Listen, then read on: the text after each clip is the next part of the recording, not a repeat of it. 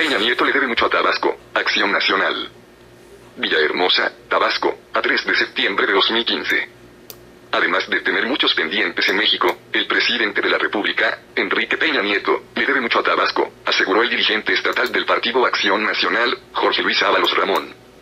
Luego del mensaje presidencial con motivo del tercer informe de gobierno, el líder panista en la entidad destacó que los mensajes presidenciales que corresponden a Tabasco contienen irregularidades, como por ejemplo al señalar avances significativos en el libramiento de Villahermosa, cuando en la realidad esta y otras obras presentan importantes rezagos.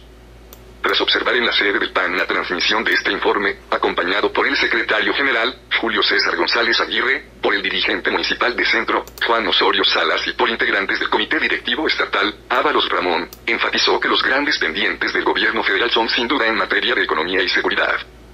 El 2016, dijo, será un año muy difícil. A Tabasco el tema de la reducción de las tarifas eléctricas donde Peña Nieto se comprometió ante notario,